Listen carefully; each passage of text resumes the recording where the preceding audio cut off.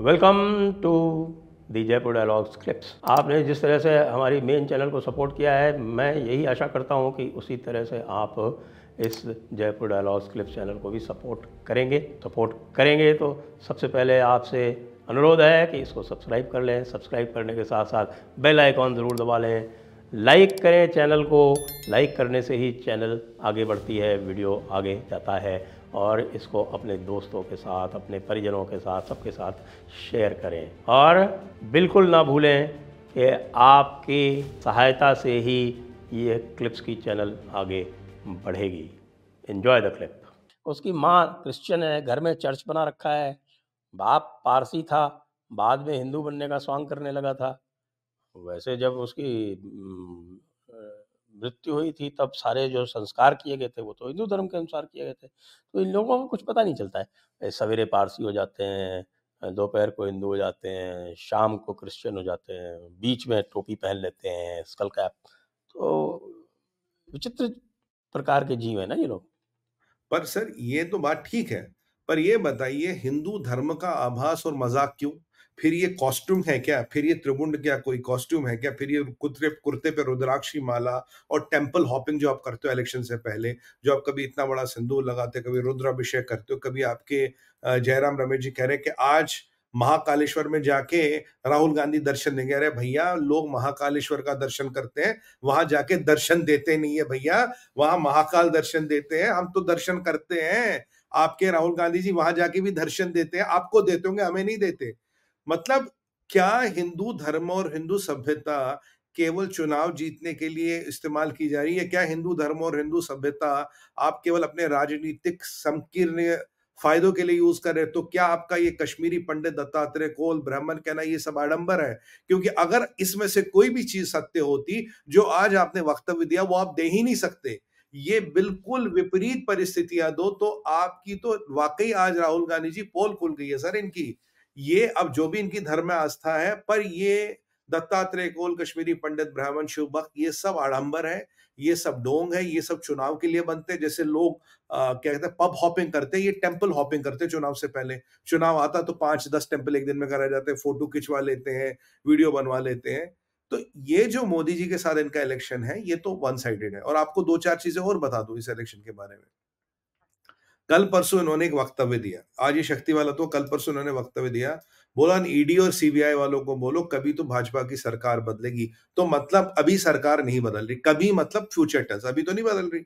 अभी कभी तो सरकार बदलेगी, तब तुम्हारा क्या होगा? तो देखिए, न्याय वालों पर जो न्याय प्रणाली चलाते हैं, जो न्याय की रक्षा करते हैं, उनको आप सीधे सीधे धमकी देने का काम कर रहे हो। फिर देखिए, कुछ दिन पहले ये गए थे एक मुस्लिम बहुल क्षेत्र था, मुस्लिम डोमिनेटेड एरिया वहाँ कह रहे, भाई, तुम नब्बे परसेंट हो। तुम नब्बे परसेंट और तुम्हारा एक भी यहाँ सांसद नहीं है, तुम्हारा एक भी रिप्रेजेंटेटिव नहीं, कैसे चलेगा? तुम हाथ पे हाथ धर के बैठे हो। तुम कुछ कर पा नहीं रहे हो, तुम्हारा कुछ होगा नहीं।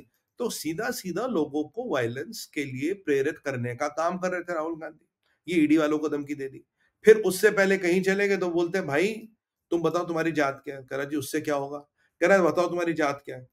कह रहा है, जब जाति जनगणना होगी तो उसके बाद पता लगेगा कि तुम जीएसटी कितना देते हो। मानिए। जब जाति जनगणना होगी, उस मतलब अब उनके पास कोई नया एल्गोरिथम या फॉर्मूला आ गया जिससे पता लगेगा, यादव इतना जीएसटी देते हैं, कुर्मी इतना देते हैं, ये ब्राह्मण इतना देते हैं, ये दलित भाई इतना देते हैं।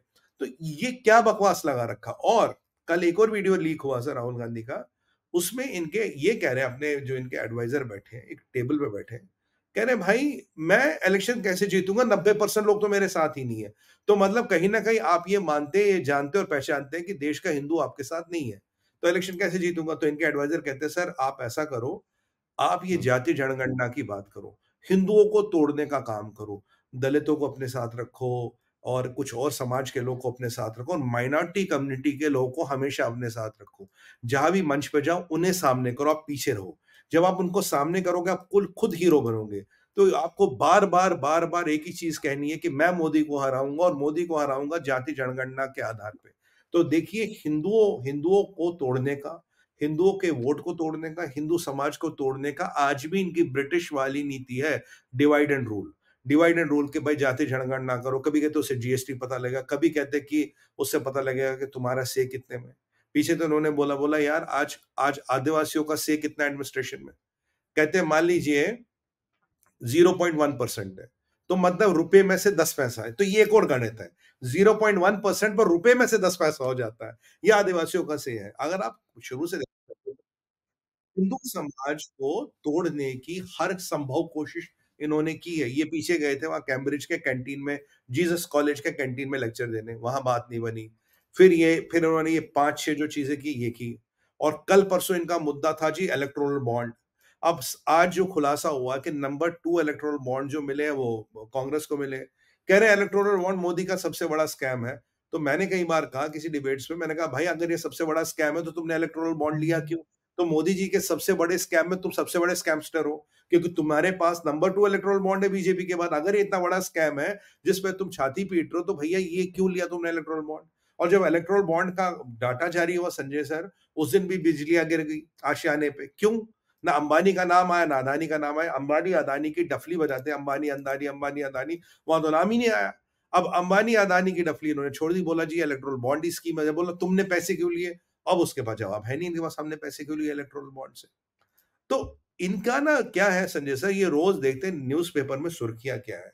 अच्छा आज ये खबर आज इसको मुद्दा बनाएँगे। अच्छा आज की खबर ये आज इसको मुद्दा बनाएँगे, ये इलेक्शन हार चुके, बीस से चालीस सीट का इनका जो हिसाब किताब बन रहा, वो बन रहा, और ये जो इनका एंटी हिंदूवाद है, ये जो देश को तोड़ने की कोशिश करते हैं हिंदुओं को तोड़ने की कोशिश कर रहे हैं, जाति जनगणना की बात करते, हर जगह हिंदू समाज में फूट डालने की कोशिश करते खुला खुला ये मुस्लिम अपीजमेंट कर रहे हैं, वहाँ वायनाड में जाकर कहते तुम्हारी यहाँ नब्बे परसेंट आबादी है, तुम्हारा कोई रिप्रेजेंटेटिव नहीं है। कहने की बात यह है कि अगर इनका यही चाल चरित्र चित्रण रहा, ये अब इलेक्शन तो हारेंगे हारेंगे, पर मेरे तो सुनने में ये भी आया है कि इलेक्शन हारने के बाद इनके पास इनको छह महीना ये यूरोप का प्रोग्राम इनका तय है। छह महीने ये यूरोप जाएँगे और वहाँ जाके हर कंट्री में, हर संस्था में हर जगह मोदी गवर्नमेंट को डिस्क्रेडिट करने का काम करेंगे। ये बताएँगे कि इलेक्शन कैसे रिग हुआ था ये बताएँगे कि इलेक्शन में कैसे मैनिपुलेशन हुई। आज देखिए इन्होंने कहा बादशाह की जान ईवीएम में है। देखिए ईवीएम का मसला आज इन्होंने शुरू कर दिया। अब इसके तार जोड़िए। ईवीएम ईवीएम शुरू कर दिया इलेक्शन खत्म इलेक्शन हार गए जाएँगे यूरोप। यूरोप में हर जगह घूमेगी जी इलेक्शन रिग था इलेक्शन रिग था इलेक्शन यूरोप क्यों जाएँगे साहब? अभी तो अच्छा गर्मी के मौसम में यूरोप ठीक रहता है। थाईलैंड थाईलैंड नहीं हाँ। जाएँगे? हाँ? म्यांमार थाईलैंड वो तो होते हुए निकल जाएँगे ना सर होते हुए कैम्बोडिया वियतनाम। वैसे एम्स्टरडेम भी अच्छी जगह है इस परिप्रेक्ष्य से। एम्स्टरडेम हाँ, से भी अच्छी जो है। मैं आपको दो और जगह बता सकता हूँ रॉटरडैम और हैम्बर्ग।